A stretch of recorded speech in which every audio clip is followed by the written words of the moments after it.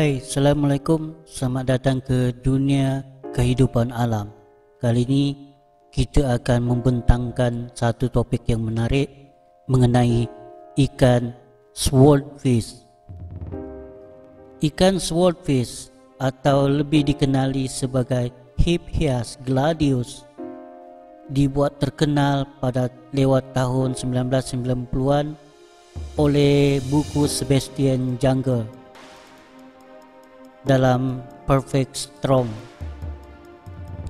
yang kira-kira bot swordfish hilang di lautan. Buku ini kemudian dijadikan filem. Captain Sword Fishing dan penulis Linda Greenlaw juga dipopularkan sword fishing dalam buku beliau The Hungry Ocean. Swordfish ialah makanan laut yang paling popular yang boleh dijadikan sebagai stik dan sesame. Populasi ikan todak di perairan Amerika Serikat dikatakan pulih selepas pengurusan berat pada perikanan yang pernah tangkapan yang berlebihan. Ikan todak yang juga mengakibatkan bycatcher besar bagi penyulau. Mari kita lihat pengenalan ikan todak. Ini ikan besar yang juga dikenali sebagai broadbill atau broadbill ikan todak. Mempunyai tajam, pedang seperti rahang atas tersendiri yang lebih dua kaki panjang. Ini pedang yang mempunyai bentuk bujur yang leper digunakan untuk menikam mangsa. Genus mereka, Hippias, berasal daripada perkataan Greek Hippos yang bermaksud pedang. Swordfish mempunyai belakang coklat hitam dan bawah cahaya. Mereka mempunyai sirip dorsal pertama tinggi dan ekor jelas bercabang. Mereka boleh tumbuh dengan panjang maksimum lebih 14 kaki dan berat 1400 pound. Ikan betina adalah lebih besar daripada ikan jantan.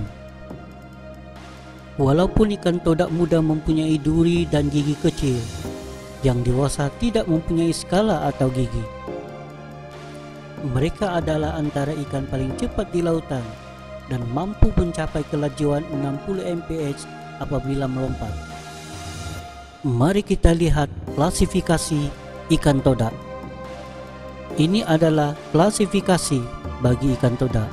Andamalia, Chordata, Hebrata, Gantastoma dan Pisces. Actino, Poigli, Palpiformes, KPD dan Hippias gladius. Mari kita dengar habitat dan pengagian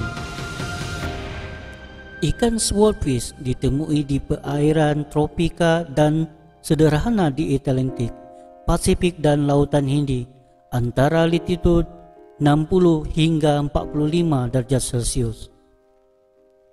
Haiwan-haiwan yang berhijrah ke perairan sejuk pada musim panas dan perairan yang lebih panas di musim sejuk. Ikan todak boleh dilihat di permukaan dan di laut dalam. Mereka boleh berenang di dalam bahagian-bahagian sejuk laut kerana tisu khusus dalam kepala mereka yang memanaskan otak mereka. Mari kita dengar apa makanan ikan todak. Makanan ikan todak terutamanya kepada ikan kecil, ikan bertulang dan cephalopods. Mereka serang ikan yang memberi makan di ruang air dan mengambil mangsa di permukaan. Di tengah-tengah ruang air dan di bahagian bawah laut, mereka boleh menggunakan layar mereka untuk kumpulkan ikan. Ikan swordfish muncul untuk menelan lebih kecil mangsa keseluruhan, manakala mangsa yang lebih besar itu ditetak dengan pedang. Mari kita dengar bagaimana pembiakan ikan todak pembiakan berlaku dengan bertelur. dengan ikan jantan dan ikan betina melepaskan sperma dan telur ke dalam air berhampiran permukaan laut. Ikan betina boleh melepaskan berjuta-juta telur yang kemudian disenyawakan di dalam air oleh sperma ikan jantan. Masa bertelur dalam ikan todak bergantung kepada di mana mereka hidup sama ada berkenaan sepanjang tahun pada air panas atau pada musim panas di perairan sejuk. Ikan muda yang panjang kira-kira 16 inci apabila mereka menetas dan rahang atas mereka menjadi lebih nyata lagi apabila larva akan 0.5 inci panjang.